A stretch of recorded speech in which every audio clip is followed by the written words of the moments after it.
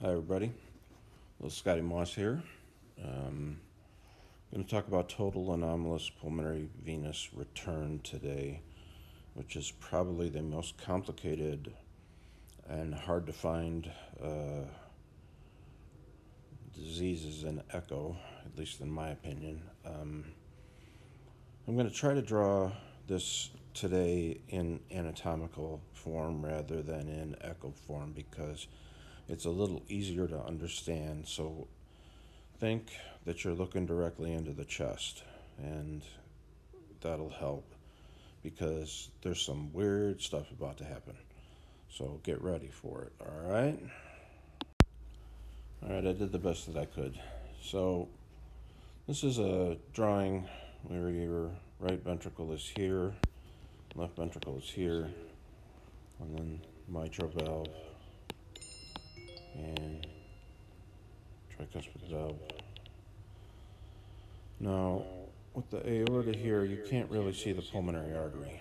Um, but what you do see a lot of times in these cases is the left atrium will be small for some reason. Uh, I can't tell you why, other than there's no flow going to it, which would explain a lot, or very little flow going to it. There's also what's called partial anomalous pulmonary venous return, which is where there's some flow going to the left atrium, but it may only be two of the four veins. Remember, there are four veins that are reattached or attached to the left atrium.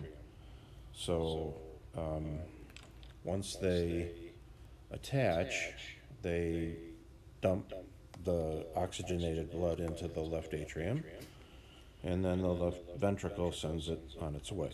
So, in this case, I'm trying to draw it, the dots are the pulmonary veins and how they attach. So you have lower and upper, and upper and lower, and um, what happens is they usually attach, you know, like maybe here and here, and then they come over and attach here and here, so that they're all attaching to the right atrium.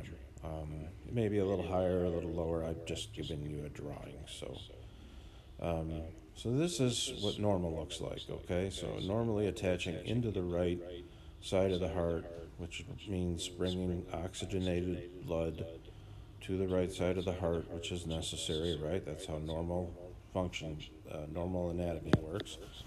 It's going to pump out the, through the RV and through the pulmonary artery and you know, I'm sorry. They don't attach. Ah, just screwed the whole thing up. Hold on. Went through that whole thing and realized I screwed it up. I'm sorry. Um, so let's go back to where I was and let's get this right this time. Anyhow, the pulmonary veins have oxygenated blood, right? Because they just came out of the lungs. So obviously, unfortunately, I didn't say this, but they have to go to the left side of the heart to be pumped out to the entire body. So, my mistake, I apologize. I hope I didn't confuse you too bad, but the veins attach to the left atrium. Now, this is in normal anatomy. Now, we're kind of going over what we would call normal anatomy. Now, in abnormal normalities, which is what I had skipped to and I didn't realize it until I did it, um, the pulmonary veins will attach to somewhere in the right heart. Um, usually not the ventricle, but in the right atrium, they'll attach through a tube. They can attach through a tube that goes up like this, that is just, you know, formed from a, a, the atrial, you know, and all the veins connect to this, this tube. Sorry, this is terrible. Anyways, they connect to the tube, all four of them. And then they dumped in, instead of, they dump all their flow into the right side of the heart. And then you get oxygenated blood going through the right side of the heart, which it's kind of looping, you know. And the only thing that's saving this patient is um, an ASD. So you have a a nice ASD here. Oops, I'm sorry, I'm having trouble getting the eraser to work. it's not working, but you get an ASD going there. So an ASD, um, let me see one more time. Nope, not working. I'm using the Apple Pencil for a change of pace, and it's not working very well. So if you have an ASD right here, then the blood is allowed to mix. So, you know, an ASD in the atrial septum, this is obviously the aorta, but below it would be an ASD, and that would allow blood to go into the left atrium. And then with that ASD and hopefully some sort of PDA, there would be some help um, getting blood to the left side of the heart. Uh, total anomalous pulmonary venous return has to be addressed right away. It's not something that can wait. These veins, it's so weird. I have seen pulmonary veins attach to the weirdest places. They can, they can all attach to the inferior vena cava from both sides. They'll just come in like this and attach to the inferior vena cava.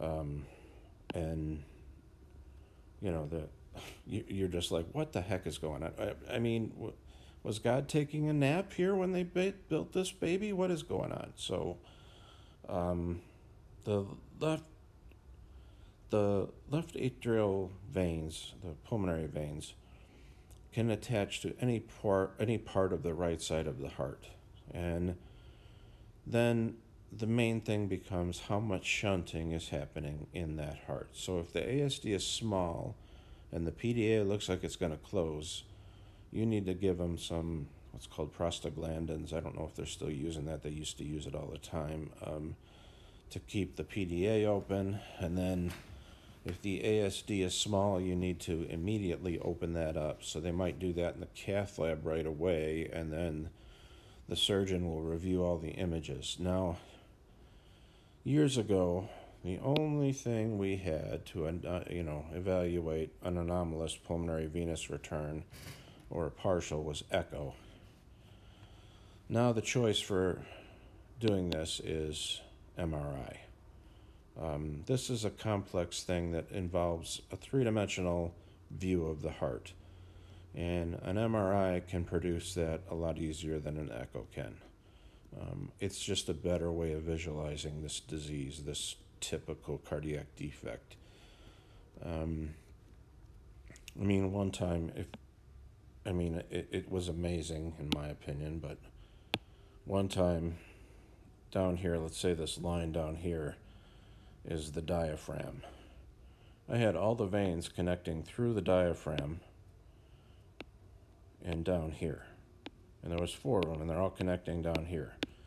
And there was so much turbulent flow here that I knew something was going on down there. So after looking at the left atrium a little more carefully and realizing it was small, and then seeing that turbulent flow, that's why it's important to bring your um, heart picture upwards so that you can see what's going on beneath the ventricles or below the ventricles. Because sometimes if you suspect something, you might get surprised and find out that it's what's called a subdiaphragmatic pulmonary venous return, which is very unusual, but I've seen it. So if I've seen it, you can see it. So, anyhow, this is a complex one. Um, it's very hard to draw, it's very hard to explain. The main thing you need to know is the left pulmonary veins, which come from both the left side of the heart and the right side of the heart through the pulmonary veins that usually attach to the left side of the heart. For some reason, they don't attach there, they attach to the right side of the heart. You just have to figure out where they're attaching. And the reason why they're using MRI now is because it's easier to spot where they're attaching. Then the surgeon doesn't go in blind because with echo, unfortunately, a lot of times the surgeon would have to go in blind because they couldn't see all four of the veins. You know, there's just too much flow going on, and you know these these veins. It's not always stenotic. It can be just regular veins, and that flow can easily be mistaken for tricuspid inflow or you know uh, just you know what looks like maybe some pulmonary flow, and and they just get mixed up, and you have trouble finding them.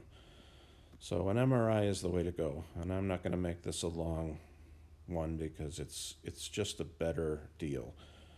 Um, most kids, you know, they can sedate, put in the MRI machine, do this test, and uh, have an answer pretty quickly. And then it's up to the surgeon. The surgeon has to go in, uh, do some rerouting, replant the pulmonary veins into the correct area, into the left atrium, which sometimes can involve conduits, can involve, you know, a lot of different things. It just depends upon this kid, you know, and who and what's going on. So um, I'm going to leave it at that. That's long enough. I, I wish I had a better explanation for this and could draw it better for you, but the main thing that I can tell you is the pulmonary veins are going to attach somewhere in the right side of the heart, and you have to figure out where.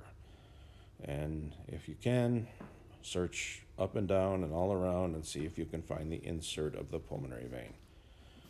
A lot of times, the best view for this is the upside down, what we call a crab view, which you know is um, is very, very uh, well known in the sense of echo. If you're in peds, whoops, sorry, didn't have the pencil set up. So you you end up with a view like this.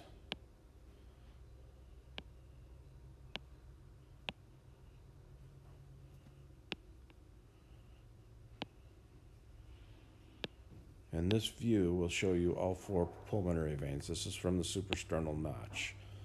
So the suprasternal notch, you aim down. Um, you'll see some other vessels. I, sorry, I'm forgetting what they are right now because I've been out of the field for a couple years. But you'll see these pulmonary veins, and you'll see flow going down and into the left atrium. And what you want to do is normally you are going to identify four veins and show them all four. Um, usually, you just need color flow. You don't need to really sample it unless you see one that looks stenotic.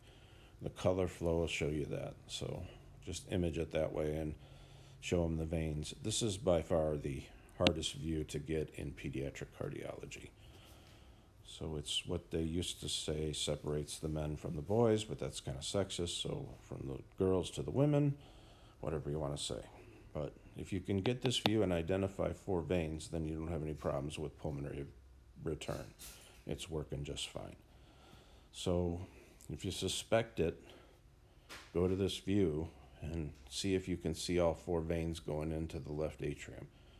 If you can't, or you don't see any, then you need to do some searching. And then they'll probably do an MRI on the kid and completely change your diagnosis. So, anyhow, uh, wish you the best of luck with this one. It's tough, but you can do it. Good luck. We'll see you later. Bye.